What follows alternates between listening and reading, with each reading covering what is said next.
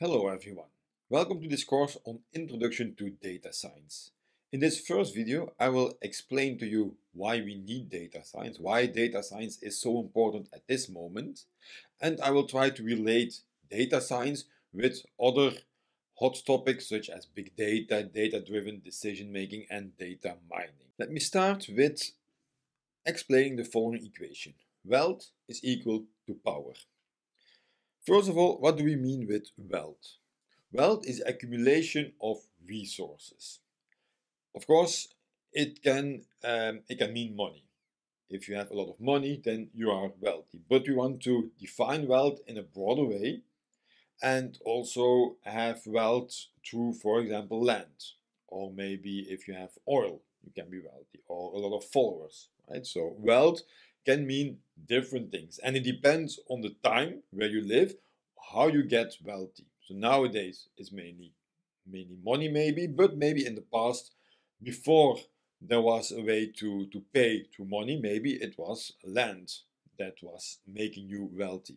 Right? So wealth is the accumulation of resources.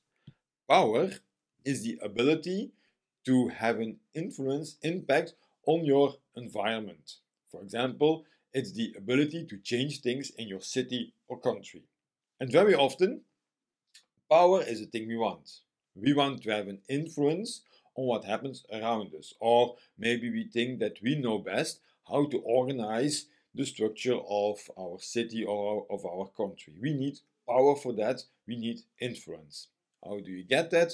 You can get it by becoming very wealthy. And you can think of numerous examples where you see that wealthy people, wealthy companies, they're also very powerful companies. So this equation, wealth is equal to power, is something that holds throughout history. It's, it holds today, it holds in the past, in the 50s, during the Roman Empire, um, and so on and so on. How do we get wealthy? To get more powerful at the end? Well, one way is to have knowledge. Because if you know things, especially if you know things that other people do not know, then you can use this information in your advantage. An example is, for example, insider trading. If you buy and sell stocks, then of course you never know if the stock price will go up or go down, unless you have extra information that someone else does not have. If you know that for some reason a stock will go down in the next week, then you can start selling your stocks before everyone else has this information. And of course, for that reason, insider trading is, of course, forbidden. Another example was uh, during the COVID crisis. When the COVID crisis started, there was no um, vaccine available. And what you needed at that moment, you do not need wealthy people, because although you have a lot of money, you don't have the knowledge to create a vaccine.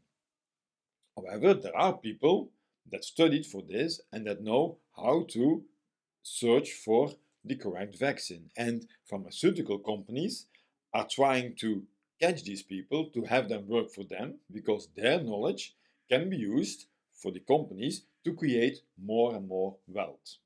Right? So knowledge is equal to wealth. Important information, important knowledge is often contained in data we can search in a data set to learn new things that we can use to become more wealthy and therefore more powerful. And big companies, tech companies such as Google, Apple, Microsoft, they know this. They know that in the information, the massive information they have about you and me, there is important information, knowledge about our, for example, shopping behavior on our um, work routines and our daily lives. Uh, there is information about our political opinions. So they can use this data, search in this data, to get important knowledge, and therefore these companies are very rich, very wealthy companies, and very powerful companies. Of course, you know that there are many free apps, apps that you can download on your phone, you can use, and you don't need to pay. Of course, free does not really exist. If you have an app that is free. It's probably free because you are giving the app, you are giving them your data. You are paying not with money, but you're paying with your data. Because the app knows I don't get money, but I get data. I can use this to create new knowledge, and that creates wealth. Here is another example of how data science can be used to spot patterns in the data and, in this case, maybe find a terrorist. So, what's the situation? We had 9 11, where there were terrorist attacks on the World Trade Center, an event that changed the world. And in the aftermath, after the attacks, the question was could we have prevented this event? Was there a way to find out that this could have happened?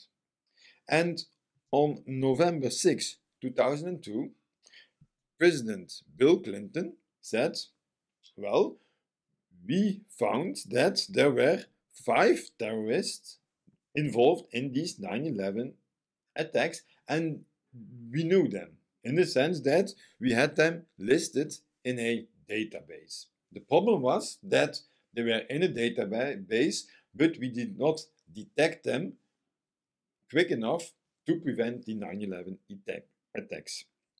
And for example, one of the terrorists was less than two years in the country and had 12 houses. And then Bill Clinton said, if somebody has been here a couple of years or less and they have 12 homes, they are either really rich or up to no good. It shouldn't be that hard to figure out which. So the thing here is that the terrorist, this one terrorist with the 12 houses, was in the database and you could have spot him. Because what you can do is you can use the data set, find patterns in the data, and then you can distinguish between the regular observations and the special atypical observations. Someone, like Bill Clinton said, someone who is less than two years in the country has 12 homes, it's a special case. You will not find many of these situations in your database. So at least you can spot them and you can inspect them. And maybe that would have been a way to detect what was going to happen. So, what is special about today's data revolution? Because data has always been very important. People study data since a very long time to get new knowledge, to create new information for them. However, today, and that is special, the gathering of data is much easier than in the past. Now, with our phones, computers, social media, wearables, and so on, we create every moment of the day new data. Whereas in the past, you need, for example, a questionnaire that you hand out to people to understand how people deal with certain problems, or you have special lab tests where you invite people to run or to cycle and then you study their behavior. Now that is all much easier. So we can create data sets very efficiently, very quickly. Secondly, how we access data is also much easier. With a regular laptop, you can you can um, you can be a data scientist because you can open very large data sets. There is software. There are enough tools available to investigate, inspect these data sets, to clean them, to uh, apply models on them, and so on and so on. We have enough computer power to deal with with all these data sets. So it's the gathering and the processing and the studying of data nowadays is much more easier than it was in the past.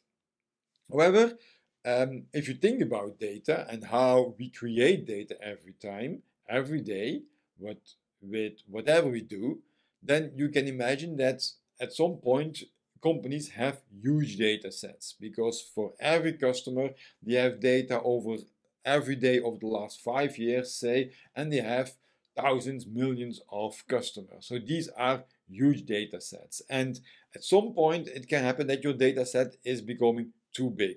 And then we talk about big data. Big data, we mean data sets that are so big that we need special methods, special techniques to deal with these data sets. And this course is on data science. And it's important to understand that data science and big data, they are different things. Data science is really the study of data sets, the extraction of knowledge from a data set, whereas big data refers to the very, very large data sets that require new models, new techniques, new skills to handle them. Data contains information. And to illustrate that, let me give the example of the first life table. So what's a life table? A life table is a table where in the first column I have the ages, 0 years old, 1, 2, 3, 4, 5, and so on. In the other column, I have the probability that you survive another year. So I can take, for example, the line where we have someone who is 30 years old, and then I can read what's the probability that this, this person will survive another year.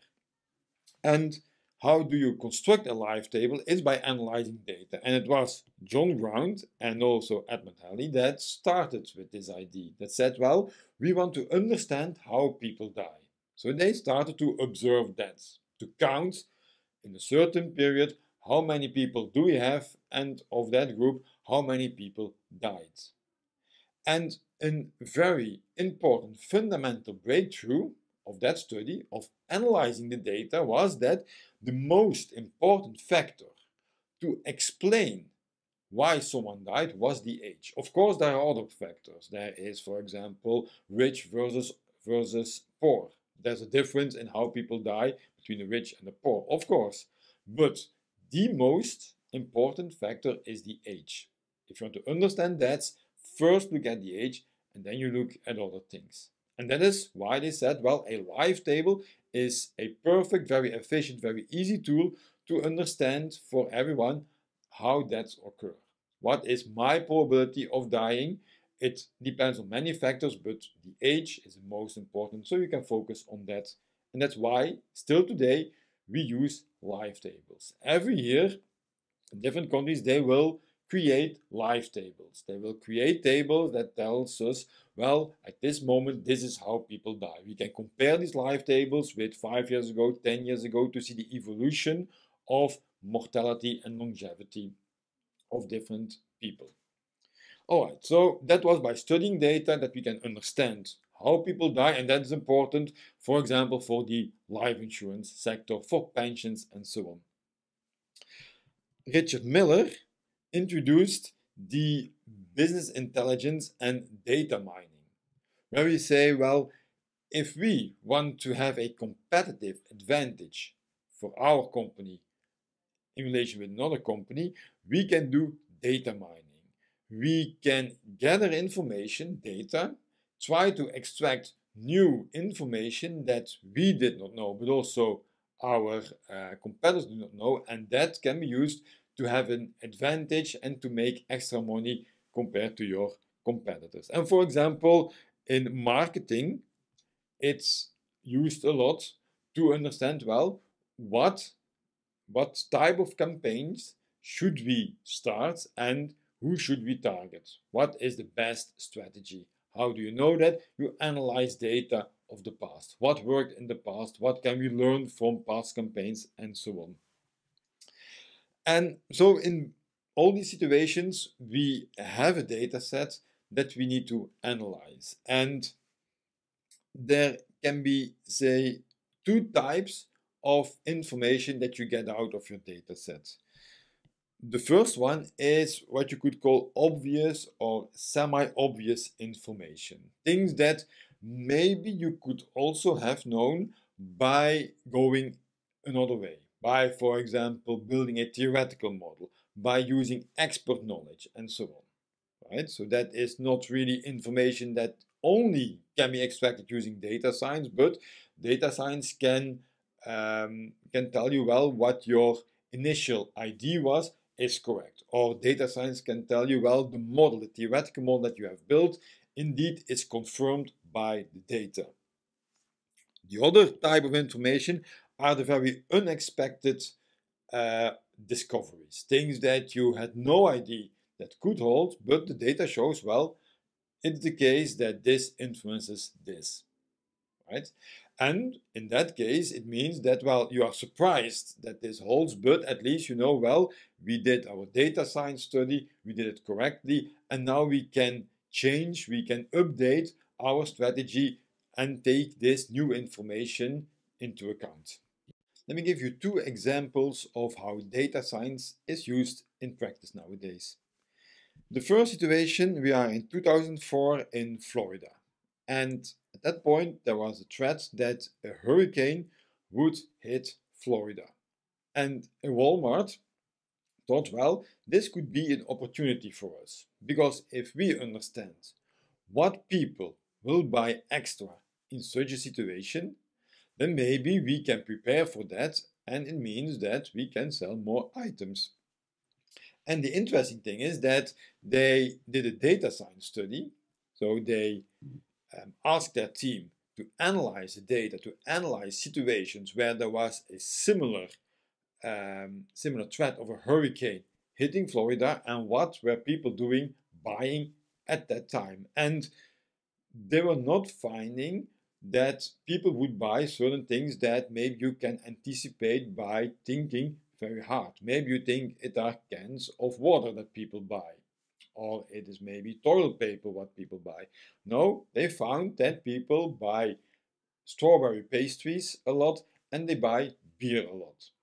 So with this rather surprising information, they could uh, stack their shops with pastries and with beers which shows that, and they could sell it of course, um, it means that analyzing the data, getting new knowledge in, and using this knowledge in your business strategy means more profit. And that's important for a shop. Another well-known application of data science is the um, investigation of churning behavior of customers. So what does it mean to churn? It means that customers are switching from one company to another company. So you have a telecom operator, for example, and the telecom operator knows that from time to time customers will go to another operator because maybe it, is cheaper there. And churning is expensive because you want to keep your customers and you don't want them to go to somewhere else. It means that if lots of people are churning, are moving to other companies, a company is making a loss and to prevent that maybe you can try to understand why people are moving from one company to another because then you can try to avoid this situation by for example making your offers to these people more attractive. Meaning that companies are willing to spend money. They know that churning is costly so they are willing to spend some extra money to limit the degree of churning and how you do that is by data science, by studying the data and trying to understand what is going on, why people churn, and then changing your strategy accordingly.